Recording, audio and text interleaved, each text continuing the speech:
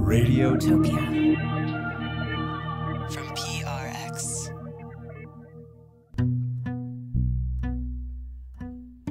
In 2017, a man was buried on a narrow, mile long island off the coast of the Bronx in New York City. He'd been dead for months, but the city hadn't figured out his name. So he was placed in a simple pine coffin that was stacked in a mass grave. The only marker was a white post that read, Plot 383. Since 1869, more than a million people have been buried on Hart Island. It doesn't look like a typical cemetery. There are no headstones or plaques, just white posts with numbers on them. Each one marks a trench with about 150 coffins inside. There's a broad range of people buried here people whose families couldn't afford a private burial, people who couldn't be identified, and people who died in various waves of epidemics that swept the city. In the 1980s, it was AIDS, and most recently, COVID 19. But for more than a century, Hart Island has been mostly off limits. This is The Unmarked Graveyard, a new series from Radio Diaries where we're untangling mysteries from Hart Island, America's largest public cemetery. I'm Joe Richman. Over the next several weeks, we'll be bringing you stories about people who ended up on Hart Island, the lives they lived, and the people they left behind.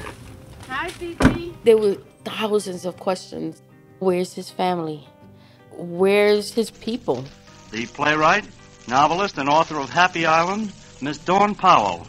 Uncle Caesar was estranged from our family 40 to 50 years. You can't help but wonder what her life has been. I never went back and I never looked for him again. Today, episode one. It's about the unidentified man buried in plot 383. At the time he was buried, he actually had several people looking for him. He had lived two lives, in different places and under different names.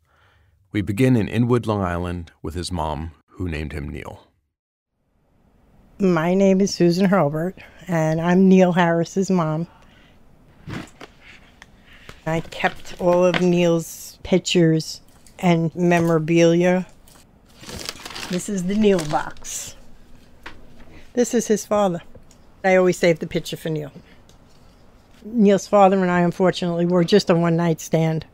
But things happen, and Neil happened. This was something that Neil wrote to me when he was little in school.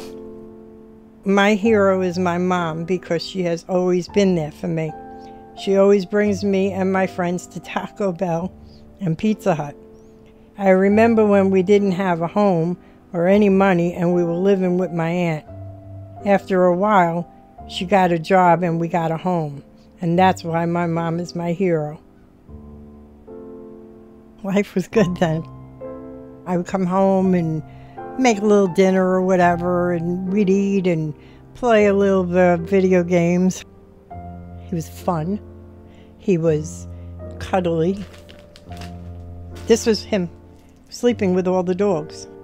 And the dogs adored him. We wound up calling him Dr. Doolittle because this kid loved the animals. And then as he got older, something switched, like somebody flipped a switch on him.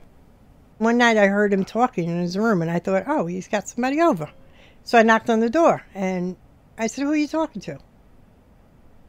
The ghost. And I'm like, what ghost? And then he started fighting. And he's like, they're all over me. They're all over me. And I was in my office one day and he came in and he's like, Ma. And he pushed me. And I went flying across the room. And he said, You don't think that I don't know you're trying to poison me? He had a glare, like he wanted to kill me. I was actually afraid of my son. The first time in my life. And I said, I want to have him put in a hospital for psychiatric evaluation. He went. And I spoke to the doctor, and she said he is schizophrenic. On medication, he's fine. She said, but he has asked to stop the medication, which is his right, and he has asked to be released. And off they sent him. He was 29 years old. I felt helpless. I felt like there was nobody there to help nobody. And then one day, he's like, I want you to drop me off at the Inwood train station. And he would sleep on the platform. When we pulled into the parking lot of the Inwood train station, he just got out, took his little backpack, threw it over his shoulder, walked away, never looked behind. And there was a cop sitting in the parking field there, and I got out. And I said, That's my son, and he wants to be here. He wants to be homeless. And the cop said to me, And it's his right. He said, But we'll check up on him. So I figured, okay, so I'll go every week. And the first time we went down, we looked and we did see him. But he walked away from me. And I was like, Neil, wait, I just want to give you money. And he stopped, took the money, and walked away. And that was the last time I saw him. My name is Joy Bergman, and I live on the Upper West Side of Manhattan. And this is my dog, JJ. JJ, let's go. Every day, JJ and I are in Riverside Park. This is the bench where we would see Stephen in all weather, all times of day. He'd always be sitting bolt upright on the bench, big canvas rucksack at his feet, same clothes, same facial expression. Yeah, JJ, you remember Stephen. I'm Billy. Billy Healy. I used to sit up at the corner there, feed my little birds. And that's when I talked to him, and he told me that he was from Long Island and his name was Stephen. It was like pulling teeth to get him to say anything. He was not a talker, he didn't seem to trust people much. At the time, I still wasn't sure if he was sleeping in the park because I see him sitting on the bench every day with his knapsack, but I never saw him sleep. So I called the outreach for the homeless. They went to talk to him, and they told me Stephen doesn't want any help. It was always kind of reassuring to see him because he was such a big guy and so gentle in his presence. He was a constant presence in the park, but a mysterious one. I couldn't quite figure out where he was from, what he was doing here, and why he just never left. Neil Harris was last seen in Inwood, New York on December 12, 2014. He was last seen wearing a tan Carhartt jacket, black hoodie, blue jeans, tan work boots, and a backpack. If you have seen or know Neil's whereabouts, this was a missing persons flyer that we made. And that went out every week. Every week, like clockwork, on Mondays. Monday morning, on every social media platform that I could get my hands on, it went out. And then a year went by. Nothing. And then another year, still nothing.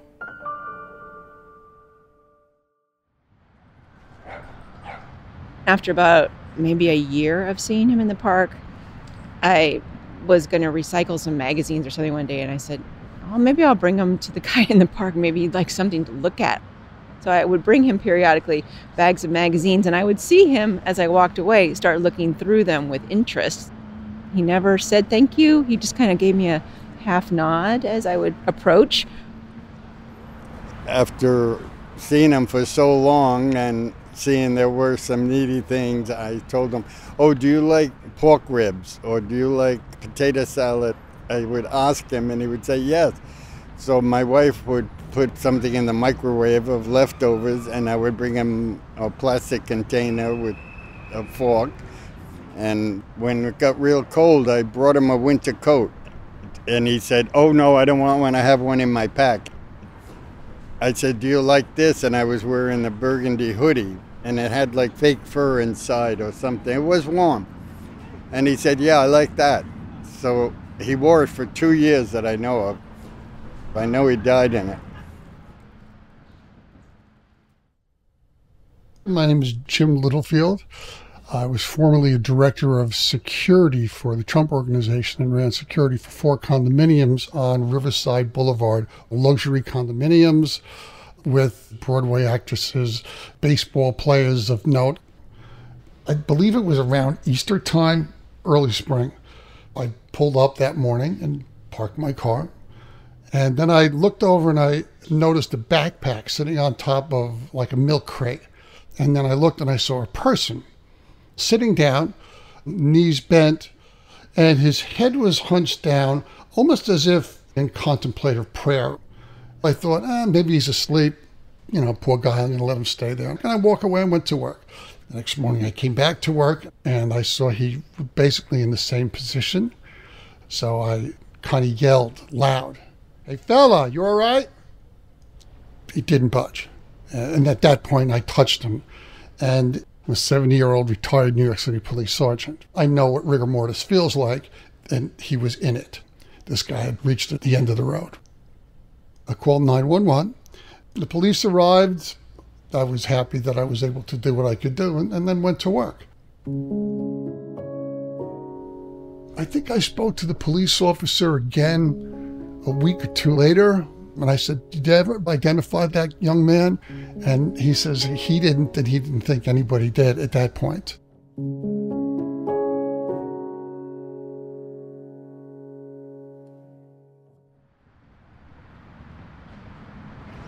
It was the next day I was told they found him dead. Right away I said, was it trauma? Was he murdered? You know, was something bad done to him? And they said, absolutely no trauma. It looked like he just had a heart attack or something. After he died, people put flowers on the bench where Stephen would sit. They put signs up and cards. You know, when you live in a big city, there's the anonymity of the big city that I think we all sort of treasure, but then there are the constant presences, the people whose names you don't know, but you see them every day. The guy who sells the fruit on the corner, the guy you see sweeping the sidewalk. These are people that become woven into your fabric of your experience in a neighborhood. And when one of them goes away, there is a loss. There is a loss. He was a sweet young man, and many people thought that about him. Rest in peace, Stephen.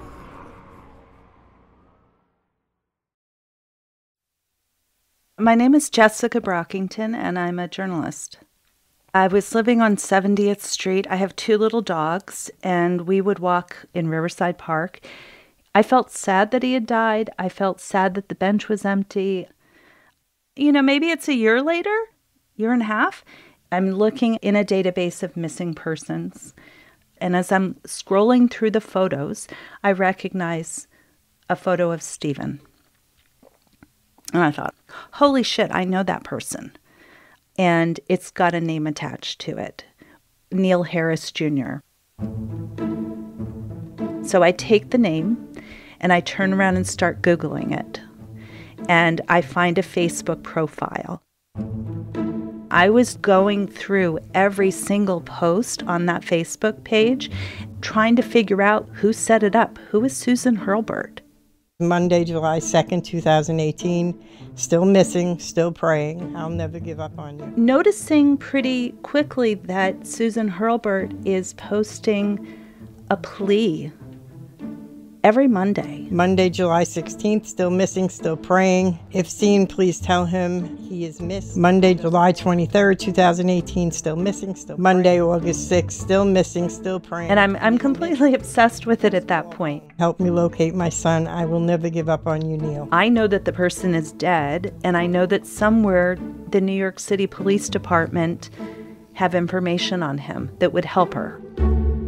But when I talked to the detective who had the case, he says that he's reviewed what he has in his files and the photos that I've sent him, and he has decided that this is not the same person. So I called the organization that is helping Susan Hurlburt put out missing persons posters. And I tell the guy, I don't want to upset her if it's not as sure as it should be, but he turns around and calls her immediately. And he's like, I have some information for you. Do you know a Jessica? And I'm like, Jessica, no. And he's like, Well, I think she knows where your son is. And I was really overjoyed. And he's like, Well, if it is Neil, then he's deceased. And I'm like, oh. And she called me and she said, okay. So there's this guy that's been sitting in Riverside Park. And I'm like, Riverside Park? Where is that? She said, in Manhattan. It's on the west side. I'm like, are you kidding me? Neil would never. He was petrified of the city. So she said, Who's Neil? Then she's like, Oh, that's right. I keep forgetting. She said, I know this guy is Steven. That's what he called himself, right? And I'm like, Steven? She said, You know, I'm just going to tell you what I got from him. She said, I would walk through the park. I have two dogs. And they would immediately run to him. And he just reached down and started petting them and kind of smiled and wasn't necessarily smiling at me, but was focused on the dogs. And I'm like, That's got to be Neil. And then I'm like arguing within my own head, my head, you know, saying, No, no, no. And then saying, Maybe, maybe, no, no, no, no, no. And then I sent her the medical examiner's photo of her son after his autopsy. And the picture came up. He was more like disheveled. I could tell like he hadn't shaven in a while. But I know my son. And I knew as soon as I saw that picture that was my son. I felt like I couldn't catch my breath. He died from an ulcer. That's what they have down on the death certificate.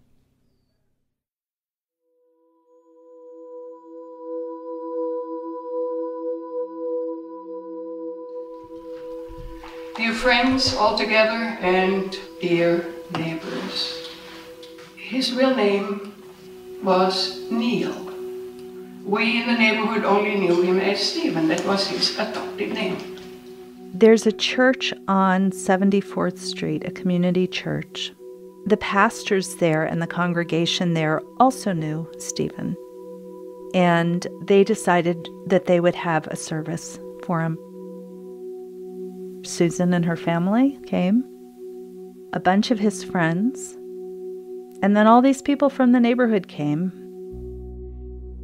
I walked in and looking at all these people, I'm like, I don't know these people. Neil didn't know these people.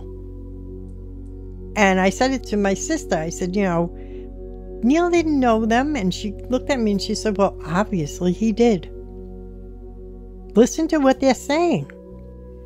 I talked to him at least two, three times a week. When I didn't see him, I'd stop and ask him, where's Steven? Because he was always there. Children came up to me and said, oh, we, we knew him, we said hello to him. It was after Neil no longer occupied his bench that we realized in the neighborhood how much he had become a part of the fabric of our lives. And my husband nudged me and he said, Get up there and say something. And I'm like, I don't know what to say. I'm not good at this. not good. But I have to tell you, I said it from when I first heard from Jessica. You're all angels. Every one of you. You watched over my son. You took care of him. And that was all I ever prayed for for four years. There are people that really, really care. Even if it's a stranger, they care. That's phenomenal. That was the only good feeling I came out of there with. Because other than that, it was not good feelings. I was hurt that I was left out of his life as his mother. I kept saying, I did something wrong. What did I do? Or what didn't I do? Everybody kept saying, well, at least now you have closure. There's no closure. I don't understand what people think when they say, well, at least now you know. I'd rather not know. I'd rather keep on looking. This is Susan and Company, yes? Okay, yeah. This is um the market right here where your loved one is buried. So this is Neil? Yeah, that's Neil.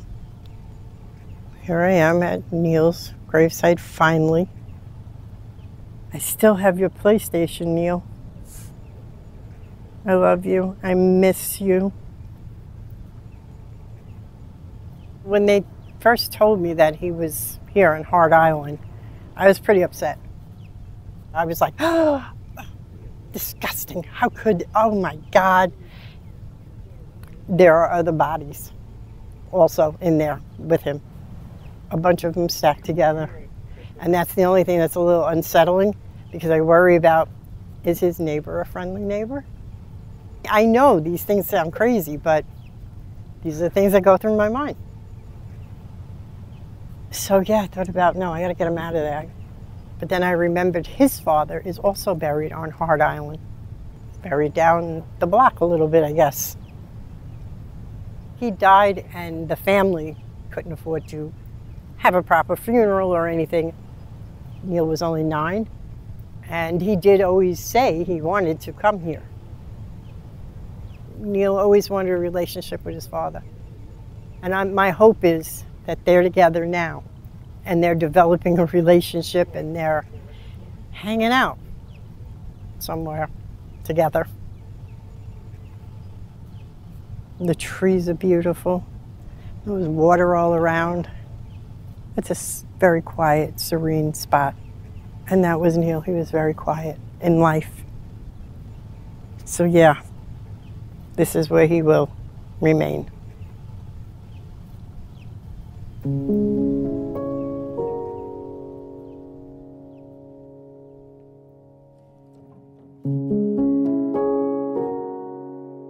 That was Susan Hurlburt, remembering her son, Neil Harris Jr.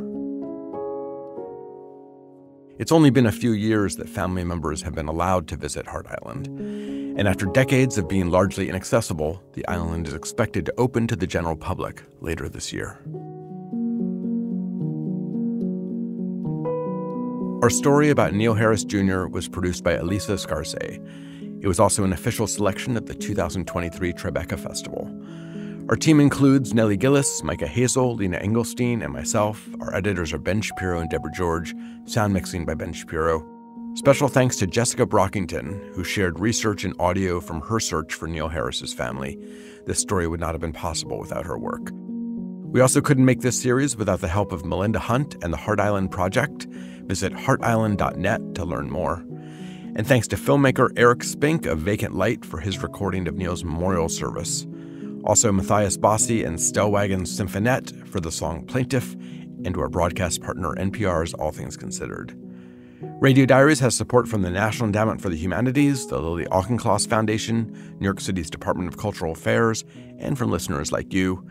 We are proud members of Radiotopia from PRX, a network of independent, creator owned, listener supported podcasts at radiotopia.fm. Over the coming weeks, we'll be bringing you more stories from Hart Island. Coming up next, a story about a man who chose to be buried there. No one knew he was going to die, but we didn't know at that time whether he would live three more weeks, three more months, three more days, three more hours. We didn't know. I'm Joe Richman of Radio Diaries. See you next week.